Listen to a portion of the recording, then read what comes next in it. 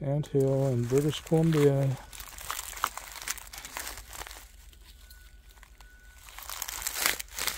Covered in ants.